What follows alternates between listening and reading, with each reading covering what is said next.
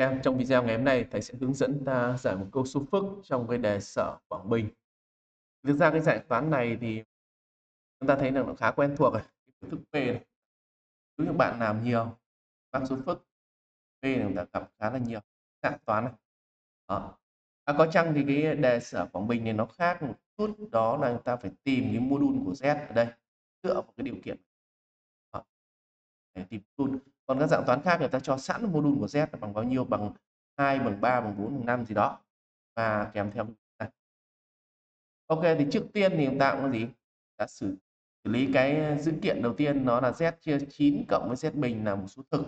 Tìm cái mô đun của Z để quay về cái bài toán quen thuộc thì trong cái video này thầy sẽ hướng dẫn ta cách sử dụng Casio.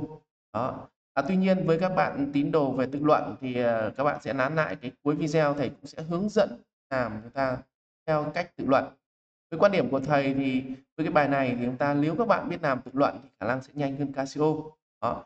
Nhiên thì bài này thầy sẽ cố gắng tư duy Casio để làm sao đó cho các bạn cũng làm khá là ok. Nó cũng có thể nói là nhanh và chính xác nhất. Đó. Rồi, ok trước tiên thì uh, tín đồ Casio thì chúng ta cứ gì? Sử dụng Casio cái xem sao đúng không?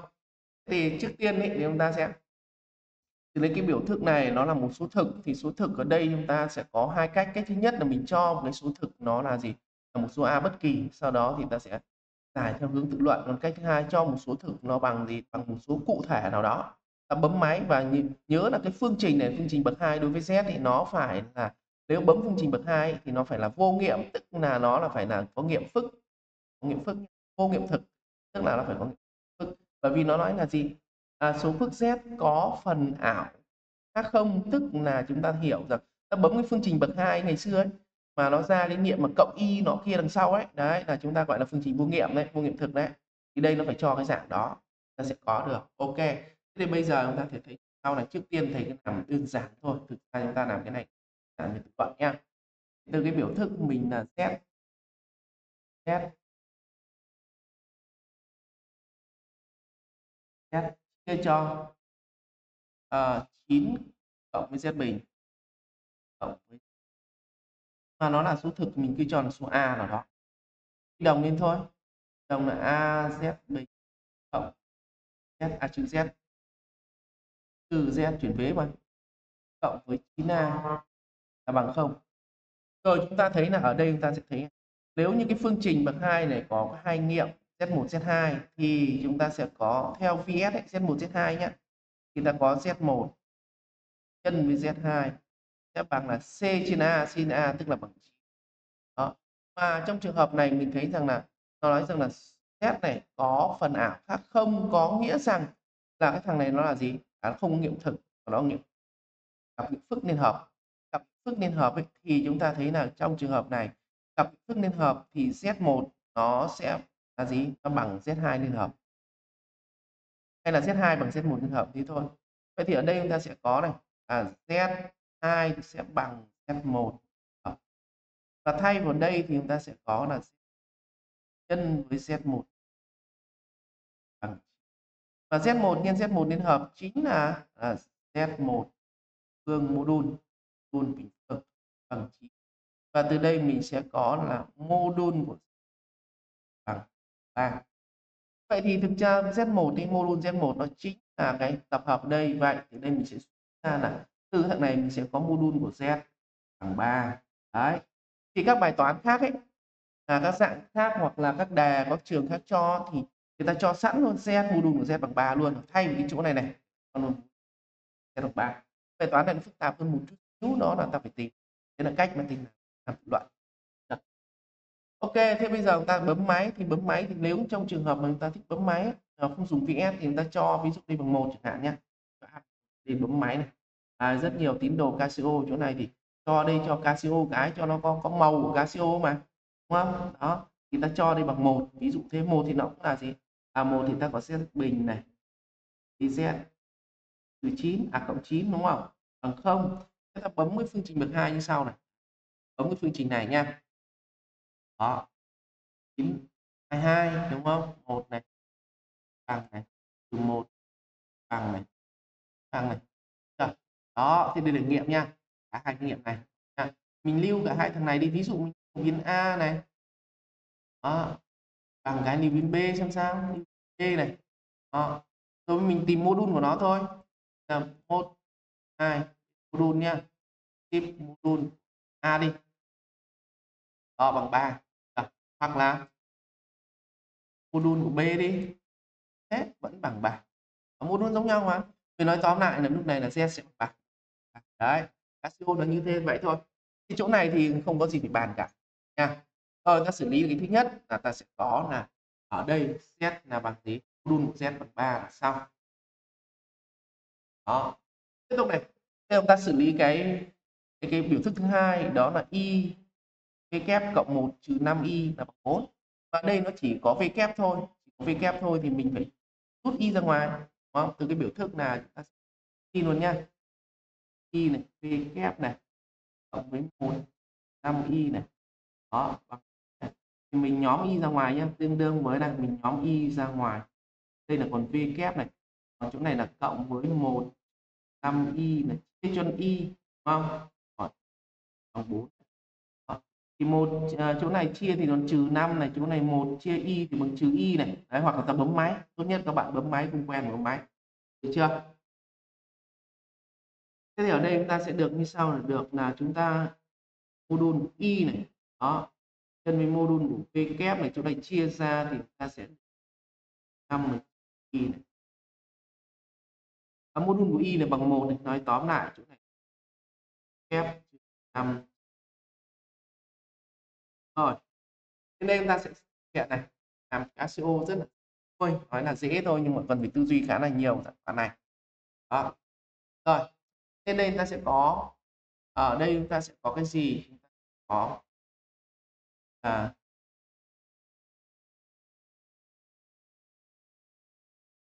tóm lại thì đây thì sẽ có như sau đó là à, module của Z và mô đun của F 5 4 và đến đây thì mình sẽ tìm được Z bằng 3 góc x. Và từ đây thì mình sẽ là V kép trừ 5 trừ y thì bằng 4 góc y. Và mình rút ra V kép luôn nhá. V kép sẽ bằng chuyển vế đổi dấu này 5 cộng với y cộng với 4 góc. Rồi, ok đến đây thì chúng ta sẽ có một chút là thay một p. Và chúng ta chú ý này, liên quan đến là nhân hai số phức ở dạng, đây gọi là dạng lượng giác đó. Dạng lượng giác nhé. Chúng ta chú ý này, nhân dạng lượng giác thì là mô đun thì bằng tích các mô đun còn argument thì bằng tổng. Đó. Ví dụ trong trường hợp này là z bình này. Tức là z nhân với z. Ở đây thì tức là bằng gì? ba góc x, ba góc chúng ta sẽ bằng 3 nhân 3 là 9 này 9 góc này x cộng x là 2x này. Đó. Thế còn nếu như là hai thằng này tích thì chúng ta tích thì có mũ đun nhân với nhau các men cộng nhau. À, ta nhớ công thức này. Thì công thức là nhân hai số phức nhân chia số phức ở dạng gì? Thế còn nếu như giả sử như là mình cứ làm một cái công thức tổng quát là giả sử z1 này bằng là có mô đun là z1 góc uh, alpha 1 đi. 2 có 2 góc uh, argument là alpha 2 ta có z1 nhân với z2 này bằng là z1 mô z1 2 góc alpha 1 cộng alpha 2 thế còn ấy à, z1 mà chia cho z2 bằng là gì? Mô của z1 chia cho mô 2 góc alpha 1 từ tiếp tục là ví dụ như là z1 ngang tức là số phức liên hợp thì chính là mô đun góc là trừ alpha cả dấu. Đấy một số công thức liên quan với góc.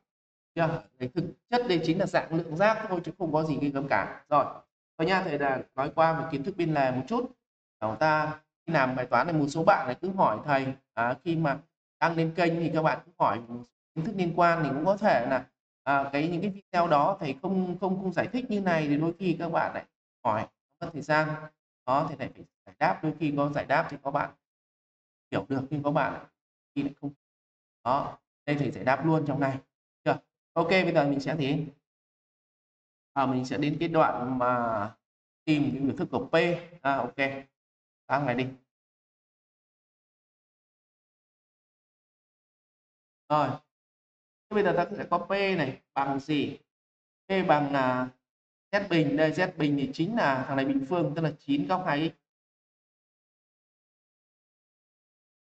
cộng với v kép z thì nhân vào nhau thôi cộng với à, z trước đi 3 góc x nhân với 5 cộng cộng với 4 góc y đó rồi trừ 9 Ờ, rồi tiếp chúng ta lại bằng biến đổi chút nhân tung nữa thôi.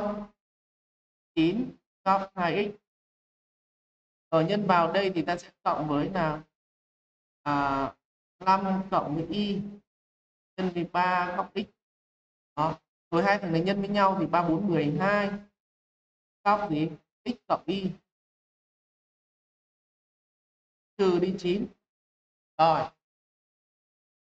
Đó. Tiếp tục này ở đây ta lại bằng tiếp đi. Đấy, coi như mình gói này với nhau.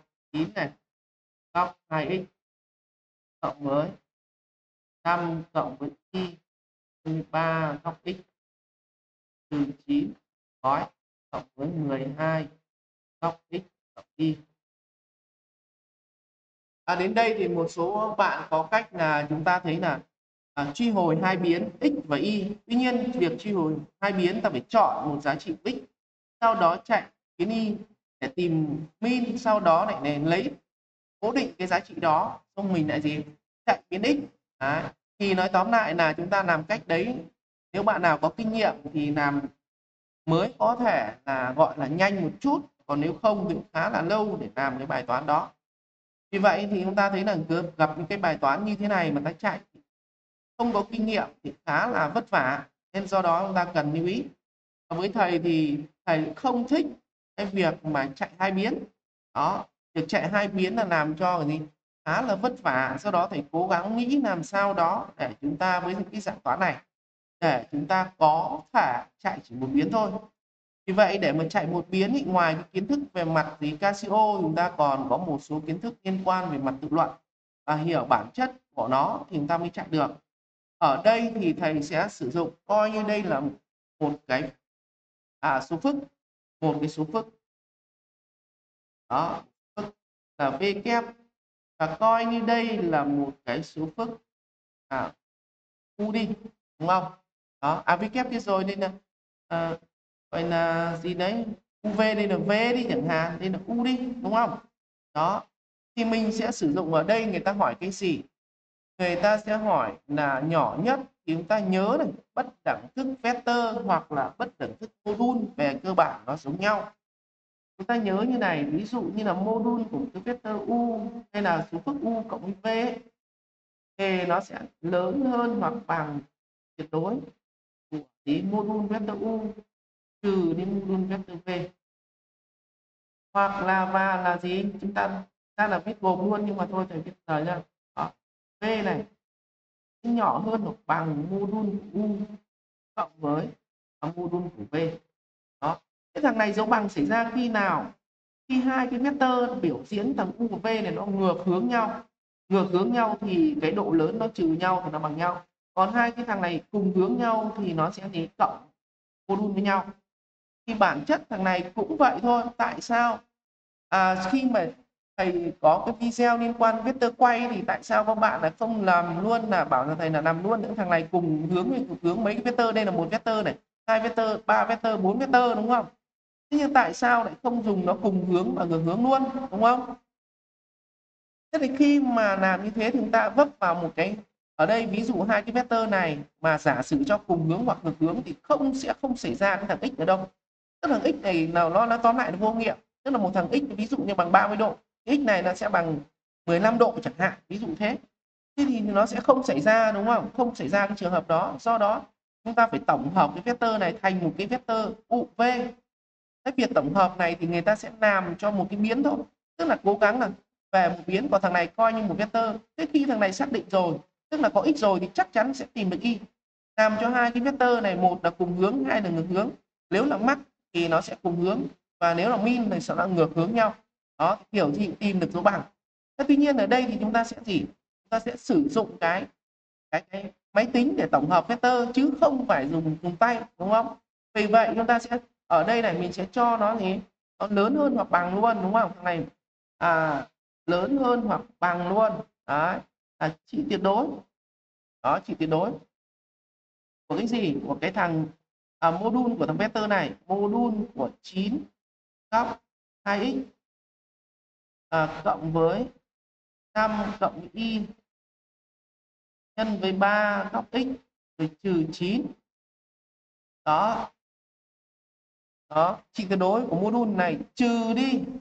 Module của ông vuông này thì nó chính là mười mấy là 12 đó thì đến đây thì chúng ta sẽ thấy rằng là cái việc Casio chúng ta chỉ cần Casio cái biểu thức này thôi nhưng chỉ cần một biến x thôi chứ không liên quan đến biến y nữa. Nói tóm lại bây giờ quay về Casio một biến chứ không phải hai biến. Đó. Thì khi quay Casio một biến thì chúng ta rất là dễ rồi đúng không? À, truy hồi một biến thì chúng ta quá quá quen thuộc ở trên kênh của thầy rất là nhiều. Vì vậy chúng ta sẽ truy hồi chỗ này thôi. Đó rồi bây giờ chúng ta sẽ sử dụng để chúng ta truy hồi nhá. Ta nhập biểu thức này cái biểu thức này min thì tức là đạt p min tại đó. Rồi ok nên ta sẽ bấm này.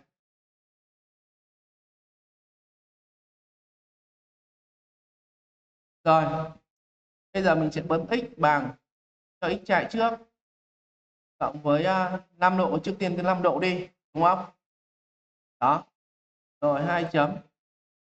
Rồi, bấm cái biểu thức này trị tuyệt đối này. Tiếp tuyệt đối, rồi là module. Đấy.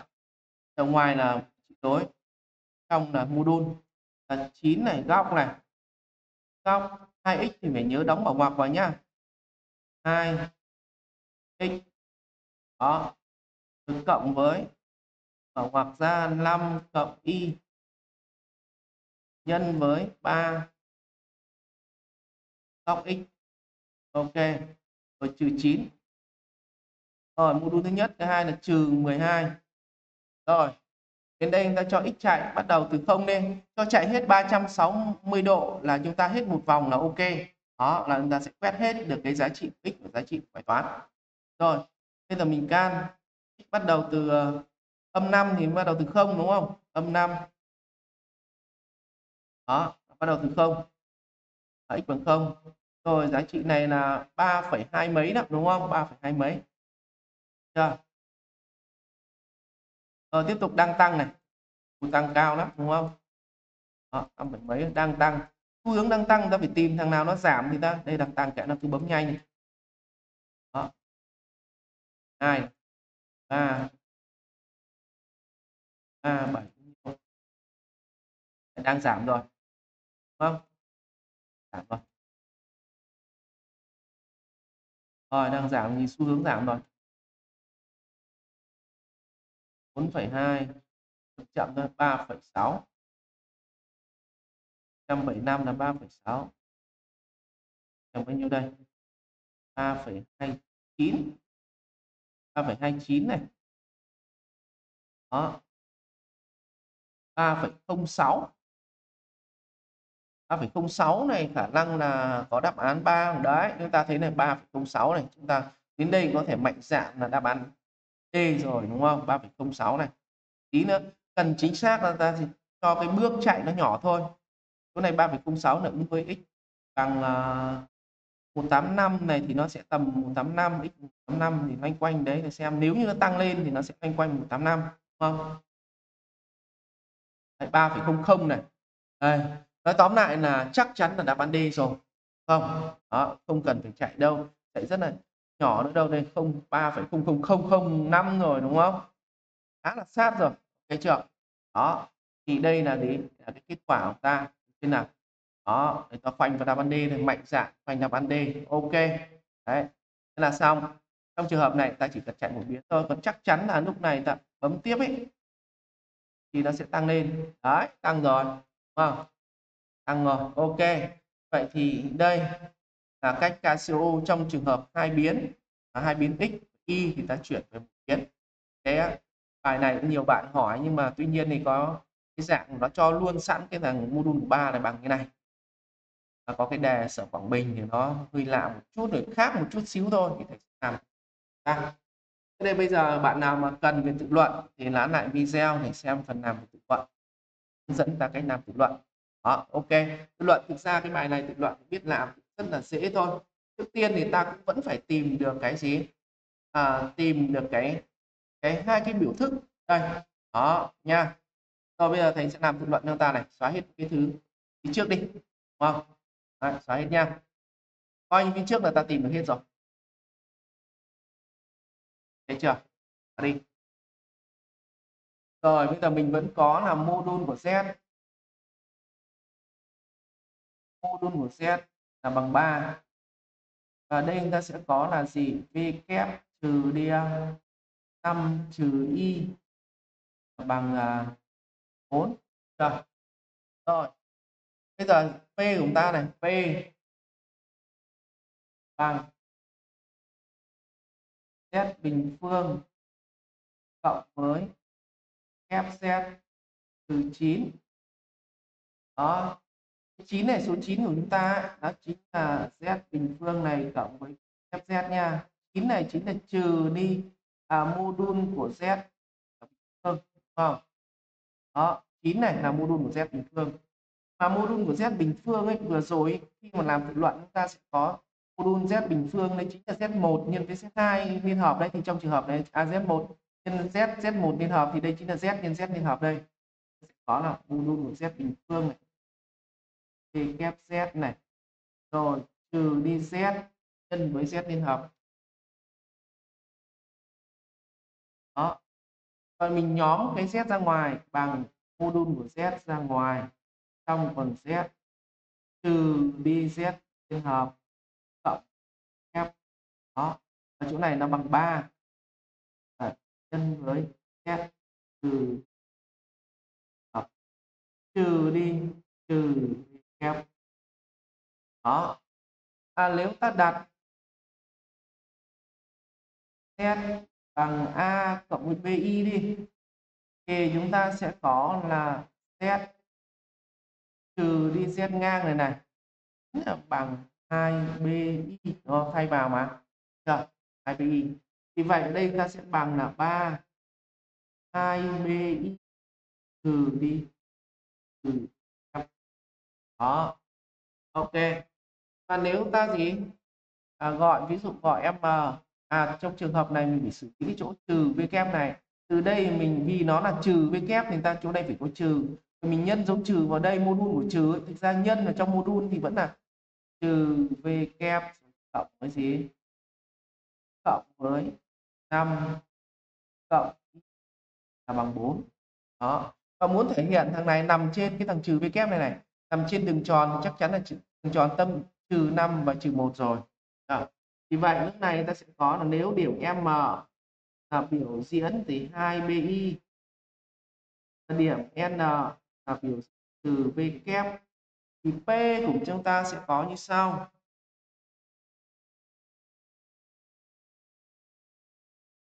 P của chúng ta này sẽ bằng là 3 n. Đó. Với với m là biểu diễn này thì 2 bi thì chắc chắn nó nằm trên trục gì? À trục tung rồi. M thuộc gì? À thuộc oi đó m thuộc y còn n là thuộc đường tròn. Đường tròn tâm gì? Tâm y đi chẳng hạn tâm y nha. đường tròn tâm y là có bán kính là chỗ này đảo nha, trừ thì thành trừ 5 trừ 1 và bán kính là r.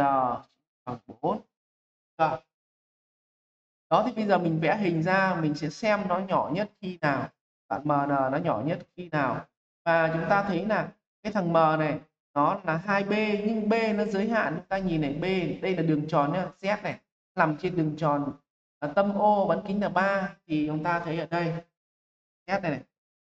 Thì là mình sẽ có nha đầu tiên là chúng ta vẽ cái đường tròn ra. Đó. Đây là phần hình học nên bạn các bạn là gì? Giỏi về mặt hình học làm hình học cực kỳ nhanh thôi đó. Đây.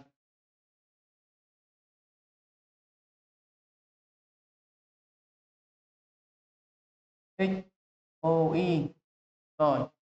Cứ đây lấy là một đơn vị đây một.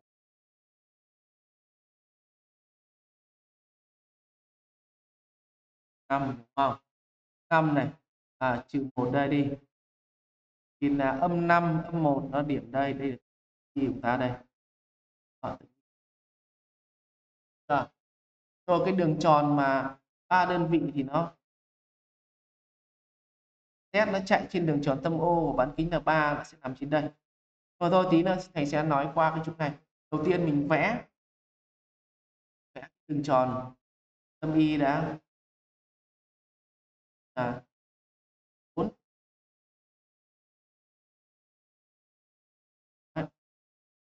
đây 4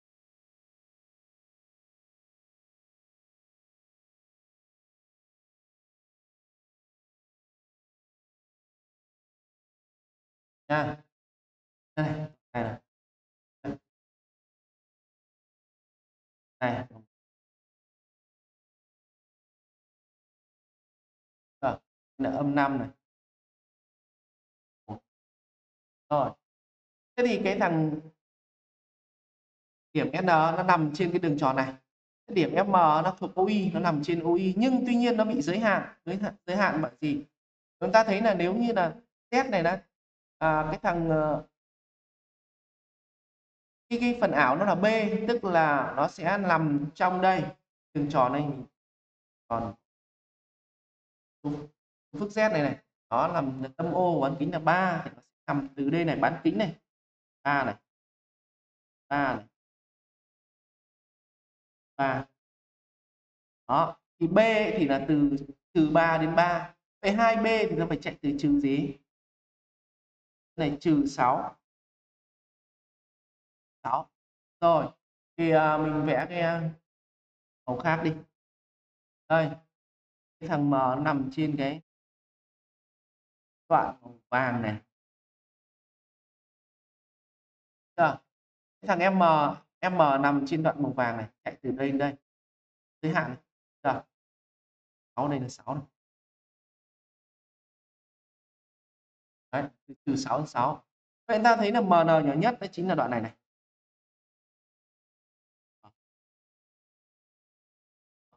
Thì đoạn nhỏ nhất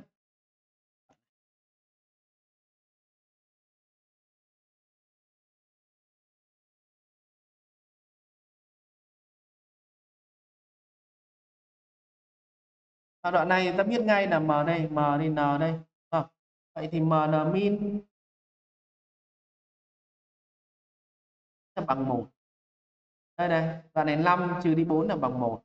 Vậy thì đây đấy suy ra P min bằng 3 với 1. À. Đó, đúng là đáp án D. Được.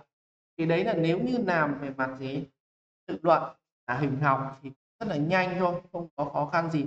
Với quan điểm của thầy nếu bài này mà bạn nào biết làm học tức là về mặt tự luận hình học khả năng còn nhanh hơn cả Casio SEO nó chỉ có phần tư duy để tổng hợp thôi. Còn nếu như đã được cái chỗ đấy thì tóm lại là ok.